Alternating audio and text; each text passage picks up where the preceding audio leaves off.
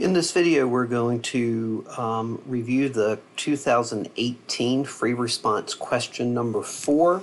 Um, and the main thing that I want you to focus on, uh, obviously, is getting the question right.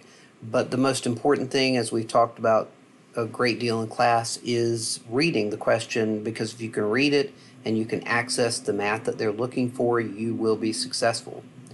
So let's take a look at question number four. Let's look at the prompt. The height of a tree at a time t is given by a differentiable function h, where h of t is measured in meters and t is measured in years. Selected values of h of t are given in the table above. So remember that h of t is the height of a tree. So you, uh, I don't know how well I'm going to be able to write with this thing. I'm trying something a little bit different but you want to make sure that you know, I'm not even going to try to, well, maybe I am. I'm not giving up easily. So uh, h of t is the height of the tree. I will not be doing a lot of writing, I assure you. I'm just playing around with this uh, thing. That is the height of the tree, and it is measured in meters. Letter A, use the data in the table to estimate h prime of 6. This is a really, really easy question. We are estimating an instant rate, and so we know that when we're estimating an instant rate, we're going to do that, and we want to uh, do it the instant rate at 6.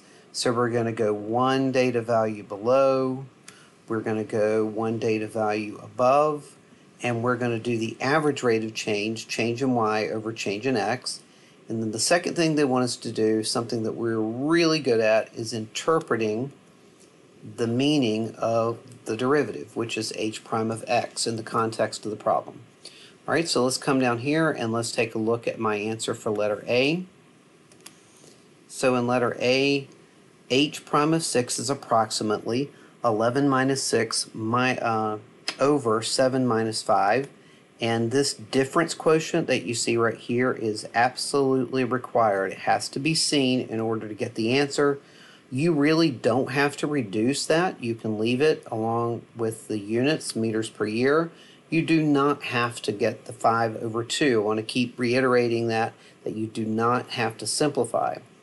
And then when I'm interpreting, I notice that the instant rate, approximated instant rate of change is positive. So we're going to use our sentence frame that we always use at six years. The height of the tree. It's the height of the tree that's changing. A derivative modifies its preceding function. So h prime is meters per year. So we're modifying meters, which is the height of the tree. So the height of the tree measured in meters is increasing at a rate of 5 over 2 meters per year because the derivative h prime of 6 is greater than 0. Now, as we have talked about multiple times in class, this part does not have to be there and you can still get full credit. So if you look at the scoring guide, let's take a look at the next page. Let me just get rid of this completely. I don't think I need to cover that up. Now let's do this. So the points there are one point for the estimate. You can see that right here. Um, and again, that requires that you have the difference quotient and then the correct interpretation with units. Letter B.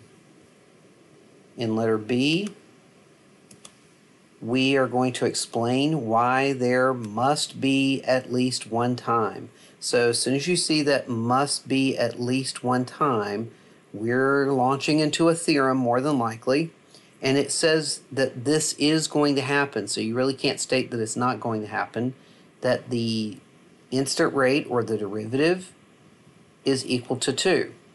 Now, since the derivative is not equal to 0, we know it's not Rolle's theorem, so it has to be mean value theorem. And in the mean value theorem, we know that you're going to study the conditions. We must have a function that's continuous on a closed interval and it must be differentiable on the open interval. And we see in the prompt that we have a twice differentiable function. That just means that h has a first and a second derivative. So if h has a first derivative, it is differentiable. Therefore, h is continuous, so the conditions of the mean value theorem are met. So we're going from 2 to 10. So all we're going to uh, show is that the average rate from 10 to 2, change in y over change in x, so now we're going from 10 to 2, we're going to show that that is equal to 2. And so when we look down here at my work for letter B, I start by stating the condition of the theorem. h of t is continuous on the closed interval and differentiable on the open interval. And then I go and explain my reason. Did I grab the wrong numbers there? Hold on just a second. I think I, from 2, oh, somewhere in the interval from 2 to 10. So it doesn't have to be that the average rate of change uh, from 2 to 10 has to equal to 2. The average rate of change somewhere in that interval has to be. So I, I think that was a little bit misleading on my part.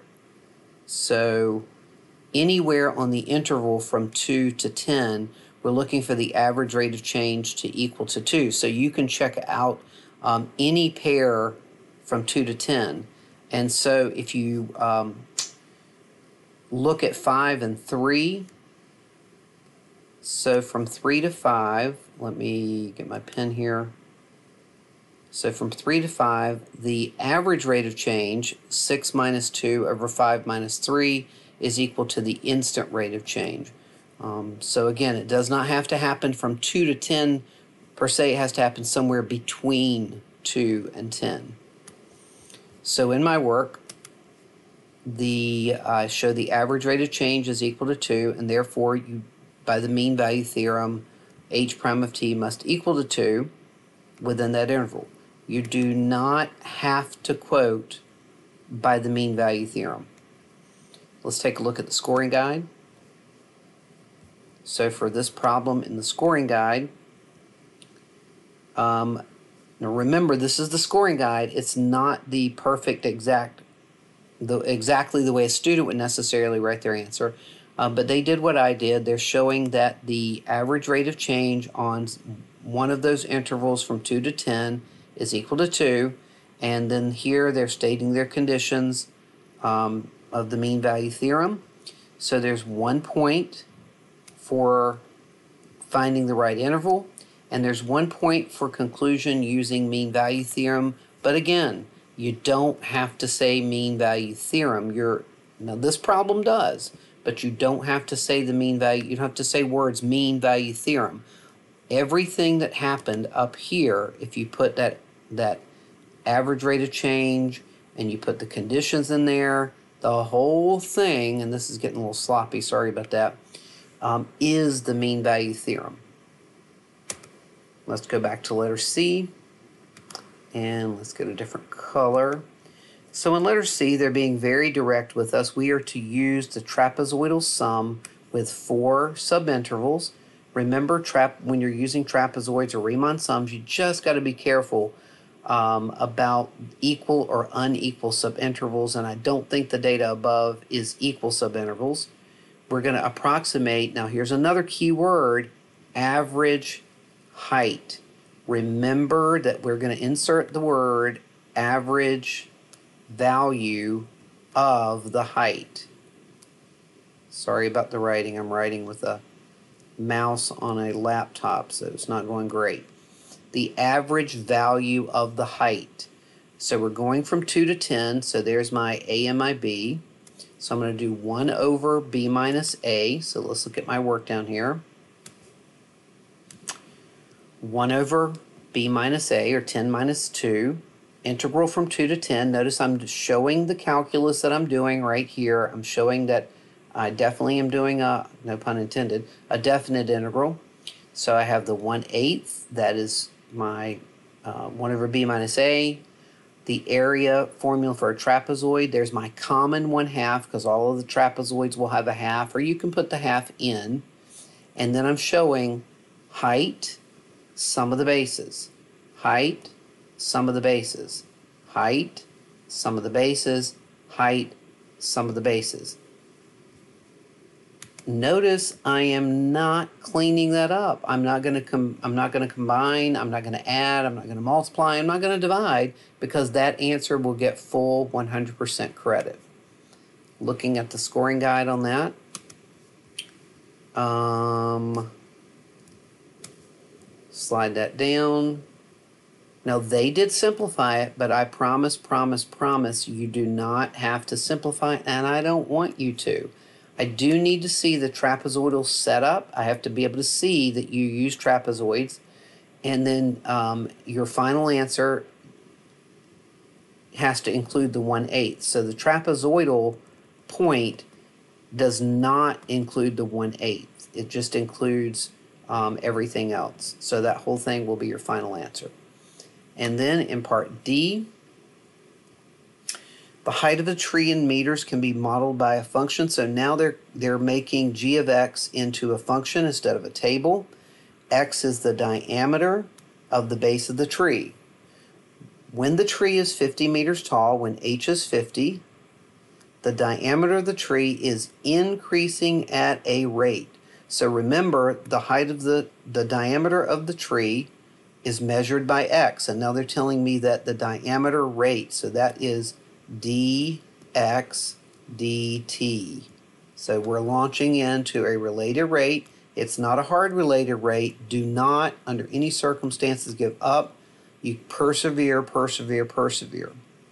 According to this model, what is the rate of change of the height of the tree? So we want g x g uh, g of x or g x gt. Sorry about that. When the tree is 50 meters tall. And let's look at my work down here.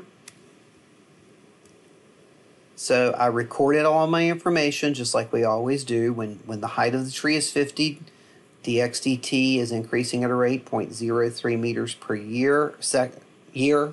Find dgdt. So since the function is a quotient, I'm going to use the quotient rule. Down d up. There's my chain rule.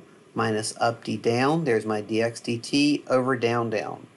Now to find the value of x, we have to set the function equal to 50. That's the little catch on this particular problem. So right over here, I'm going to need that x value in order to evaluate this. So I have to set the height of the tree, 50, equal to the function, cross multiply, solve for x, x is equal to 1, substitute in the 1, and do not simplify. Leave it just like it is, just like you see it right here for a full credit answer.